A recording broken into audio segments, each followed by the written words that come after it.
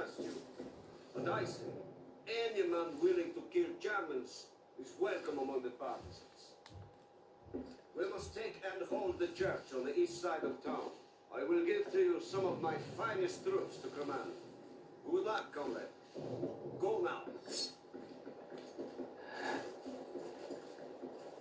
We are honored to fight with you, comrade. Let's teach these Germans a lesson.